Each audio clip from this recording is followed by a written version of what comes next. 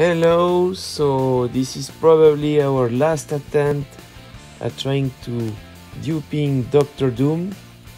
We're going to buy a feature crystal from the ISO market and we're going to open it.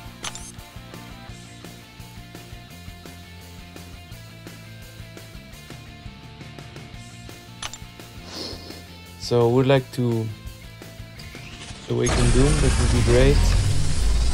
Any of the new mutant champs like Toad or Sauron or getting Immortal Abomination would be good. And we get what do we get? What do we get? What do we get? What do we get? What do we get?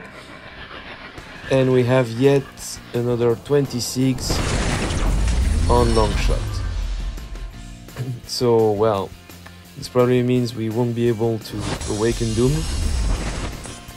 Maybe another day, who knows. So that's it. Thank you, bye.